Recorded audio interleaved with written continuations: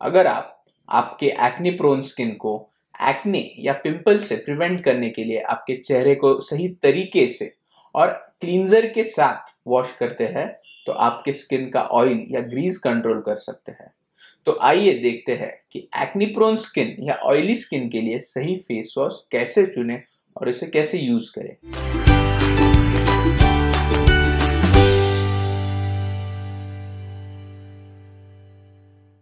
Hello दोस्तों, मैं doctor Dhanraj Chauhan cosmetic dermatologist और hair transplant surgeon clear skin and hair MD clinics Pune से। देखिए cleanser या फेस वॉश एक ऐसा स्किन केयर प्रोडक्ट है जो आपके स्किन से डर्ट डस्ट एक्सेस ऑयल और मेकअप रेसिड्यू निकालता है। क्लींजिंग यह आपके स्किन केयर का फ़र्स्ट बट बहुत ही इंपॉर्टेंट स्टेप है। आज हम एक्नी प्रोन स्किन या ऑयली स्किन के लिए फेस वॉश कैसे चुने इसके बारे में चर्चा करेंगे। ये क्लींजर्स कई सारे अलग अलग फॉर्म्स में अवेलेबल होते हैं। जैसे कि gel form foaming lotion oil clay cream इत्यादि, बहुत सारे टाइप्स हैं। ऑयली और एक्नी प्रोन स्किन के लिए जेल बेस्ड या foam based facial cleansers ideal है इनफैक्ट जब आप एक क्लींजर चुनेंगे तो आपको आपके एक्नी टाइप के हिसाब से क्लींजर चुनना है। उदाहरणार्थ ब्लैक हेड्स और व्हाइट हेड्स के लिए सैलिसिलिक एसिड या ग्लाइकोलिक एसिड आइडियल होता है। बैक्टीरियल इन्फेक्शन वाले पिंपल्स के लिए बेंजोइल पेरोक्साइड एक आइडियल इंग्रेडिएंट होता है। तो आइए ये इंग्रेडिएंट्स कैसे काम करते हैं, ये एक बात देखते हैं। पहला इंग्रेडिएंट जो हमने बात किया वो तो सैलिसिलिक एसिड ये एक बीटा हाइड्रोक्सी एसिड है, जिसमें जेंटल एक्सफोलिएटिंग प्रॉपर्टीज़ होती है। यह डेड स्किन सेल्स को निकालता है एक्सेस सीबम प्रोडक्शन को डिक्रीज कर देता है। उसको कंट्रोल में लाता है और एंटी इन्फ्लेमेटरी प्रॉपर्टीज़ भी कुछ इसमें होती है। ब्लैक हेड्स व्हाइट हेड्स और हार्मोनल ऑक्नी के लिए ये डेफिनेटली अच्छा होता है। अगला इंग्रेडिएंट होता है बेंजल पेरोक्साइड बेंजल पेरोक्साइड में एंटी बैक्टीरियल प्रॉपर्टीज़ काफ़ी स्ट्रांग होती है। ये एक्नी कॉजिंग बैक्टीरिया जो होते हैं प्रोपियोनोबैक्टीरियम एक्नेस हम जिसको बोलते हैं, उनको क्लियर करने में और डिस्ट्रॉय करने में काफ़ी मदद करता है। पुशुल सिस्ट इन्फ्लेमेटरी एक्नी जो होते हैं, इसमें बेंजल पेरोक्साइड काफ़ी अच्छा काम करता है। स्किन को स्मूथ और इजीली शाइनी बनाने के लिए डेफिनेटली ये टाइप के क्लींजर्स अच्छे होते हैं। ग्लाइकोलिक एसिड कंटेनिंग जो अल्फ़ा हाइड्रोक्सी एसिड का टाइप है एक्सफोलिएटिंग क्लींजर्स ये होते हैं और ये आपके एक्सेस ऑयल को अच्छे से डिक्रीज करते हैं। इसमें एंटी एजिंग प्रॉपर्टीज़ जो भी होती है, जो आपके बाकी प्रोडक्ट्स को एब्जॉर्प्शन करने में, इसका स्किन का रेट टर्नओवर इंक्रीज होने की वजह से इंक्रीज करते हैं। इसलिए ग्लाइकोलिक एसिड कंटेनिंग प्रोडक्ट्स जो होते हैं, वो काफ़ी अच्छे होते हैं। एक्नी प्रोन स्किन में ऐसे कुछ इंग्रेडिएंट्स भी है, जिन्हें अवॉइड भी करना हमें होता है। जैसे कि ऑयली स्किन के लिए कोकोनट ऑयल मिनरल ऑयल और पेट्रोलेटम कंटेनिंग जो क्लींजर्स होते हैं। उनको डेफिनेटली आपको अवॉइड करना है। ये पोर्स को क्लॉक कर सकते हैं और आपके स्किन को ऑयली है एक्नी प्रोन है तो आप पैराबेन फ्री या alcohol free fragrance free products चुनिए। कुछ लोगों ने टी ट्री ऑयल या नीम या हल्दी जैसे होम बेस्ड प्रोडक्ट्स जो होते हैं, उनको क्लींजर्स की तरह इस्तेमाल किया है और उनको अच्छे इफेक्ट्स भी पाए हैं। लेकिन ये इंग्रेडिएंट सब लोगों में इफ़ेक्टिव होता है, ऐसा नहीं होता है। कुछ लोगों में इनके साइड इफेक्ट्स भी आते हैं। इसीलिए आपको हर्बल इंग्रेडिएंट्स होममेड इंग्रेडिएंट्स अगर यूज़ करना है तो पहले आपके स्किन के एक छोटे से पार्ट पर उसका पैच टेस्ट कीजिए। अगर वो कुछ रिएक्शन नहीं होता तो आप उसे डेफिनेटली यूज़ करते हैं।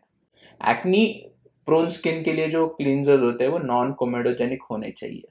हैवी या ऑयल बेस्ड नहीं होने चाहिए। इनफैक्ट कुछ फेस वॉश बॉटल्स पे इंग्रेडिएंट्स का कॉन्सेंट्रेशन भी लोग मेंशन हुआ होता है।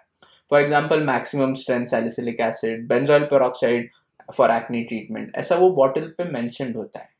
तो फेस वॉश चुनते वक्त ये केयरफुली देख कर फिर फेस वॉश चुनिए। अब जो आपको समझा है तो आप ऐसा जानेंगे कि फेस वॉश अपने लिए क्या है तो इसको यूज़ कैसे करना है। इस टॉपिक पे हमने एक डिटेल वीडियो तो ज़रूर बनाया है, जो आप आप देख सकते हैं, लेकिन फिर भी एक शॉर्ट में मैं आपको बताता हूँ कि क्लींजर कैसे कर क्लींस कैसे करना है फेस ल्यूकवॉर्म वाटर लेना है। बहुत गर्म या बहुत ठंडा पानी आपके स्किन के लिए अच्छा नहीं होता है। इसीलिए अपने हाथ को ठीक से धोना है। फिर ये कोमट, यानी वार्म ल्यूकवॉर्म वाटर में एक पीसाइज्ड अमाउंट फिंगर पे क्लींजर लेके दोनों हैंड्स पे रब करके फिर आपके नोज़ से स्टार्ट करते हुए पूरे फेस को लगाना है। फेस में स्प्रेड करना है मसाज करना है और एक मिनट के लिए उधर उसको रखना है। रब नहीं करना है, घसीटना नहीं है उसको कि बहुत ज़्यादा अंदर जाए। एकदम सॉफ्टली फेस पे प्यार से रब करके फिर वाटर से वॉश करना है। सॉफ्ट टॉवल से पैड ड्राई करना है। अगेन टॉवल से बहुत उसको रब नहीं करना है। अगर आप फेस को हर बार ओवर वॉश करेंगे तो स्किन आपका ड्राई होगा। फिर सिबेशियस ग्लैंड एक्सेस स्टिमुलेट होतेगा क्योंकि बहुत रब करने से, और उसका ऑयल स्किन का इंक्रीज होता है। इसलिए एक से दो बार, तीन बार वॉश करना इज़ ओके उससे ज़्यादा आप वॉश करेंगे तो इंक्रीज ऑयलीनेस होगा। रिएक्टिव ऑयलीनेस जिसको हम बोलते हैं। इन्फ्लामेटरी ब्रेकआउट्स के लिए बेंजोइल पेरोक्साइड यूज़ कीजिए। ब्लैक हेड्स व्हाइट हेड्स के लिए सैलिसिलिक एसिड अगर आप एक्नी ट्रीटमेंट के मेडिकेशन ले रहे हो तो माइल्ड क्लींजर यूज़ कीजिए ताकि एक्नी ट्रीटमेंट से जो सेंसिटिव हुआ स्किन होता है, उस पर और आप एग्रेवेट ना करें। कुछ लोग हमसे ये भी पूछते हैं कि सोप्स यूज़ कर सकते हैं क्या? आपको antibacterial deodorant body soap bars जो होते हैं, उसको पूरा अवॉइड करना है। ये फेस को ड्राई कर सकते हैं, ये काफ़ी स्ट्रांग होते हैं। इनका पीएच जो होता है, वो बहुत ज़्यादा होता है स्किन से। तो इस, इसलिए ये स्किन को बहुत रफ बनाते हैं और इरिटेट करते हैं। इसलिए आपको क्लींजर चुनते वक्त आप ऐसा चुनिए जो माइल्ड हो। इनफैक्ट आपके चेहरे को क्लीन हैंड से वॉश कीजिए। स्क्रबिंग पैड्स या वॉश क्लॉथ जो होते हैं, उनसे रब मत कीजिए। ओवर क्लींजिंग से आपके चेहरे में जो नेचुरल ऑयल प्रेजेंट होते हैं, उनसे स्किन का पीएच बैलेंस डिसरप्ट हो जाता है और स्किन ज़्यादा ऑयली पड़ती है। देखिए क्लींजिंग एक्ने को इलिमिनेट नहीं करता है। क्लींजिंग एक्ने ट्रीटमेंट नहीं है। बट आपको एक्नी प्रोन स्किन है तो क्लींजिंग करने से एक्नी एग्रीवेट तो ज़रूर नहीं होगा। इसलिए पोस्ट ट्रीटमेंट केयर में क्लींजिंग एक बहुत इंपॉर्टेंट रोल निभाता है। पिंपल्स को प्रिवेंट करने के लिए ये ज़रूरी है। पर दोस्तों, हर एक की स्किन अलग अलग होती है और अलग अलग फैक्टर्स की को वो रिस्पॉन्ड करती है। इसलिए आपको थोड़ा ट्रायल एंड एरर के साथ अपने स्किन के रिएक्शन के हिसाब से क्लींजर चुनना है। मैं आशा रखता हूँ कि आपसे इस वीडियो को एक्नी प्रोन स्किन के लिए कौन सा क्लींजर यूज़ करना है और कैसा चुनना है कैसा यूज़ करना है, इसके बारे में मन चाहे इन्फॉर्मेशन मिली हो। अगर आपको और कोई भी सवाल है तो आप नीचे कमेंट्स में या हमारी website clear skin dot in पे पूछ सकते हैं। दोस्तों, ये एक एजुकेशनल वीडियो है, इसलिए अगर आपको किसी भी प्रोडक्ट के बारे में इंफॉर्मेशन चाहिए तो आपके नियर बाय डर्माटोलॉजिस्ट के पास जाके उनको कंसल्ट कीजिए। वो आपको स्किन को देख के स्किन को कंसल्ट करके आपको प्रॉपर सोल्यूशन दे पाएँगे। आप अपने फेस को दिन में दो बार क्लींस करते रहिए मॉइस्चराइज करिए और उसके बाद कंपलसरी सनस्क्रीन भी लगाएँगे। इस आशा से मैं आपकी रजा लेता हूँ। जल्दी मिलेंगे। ऑल द बेस्ट धन्यवाद।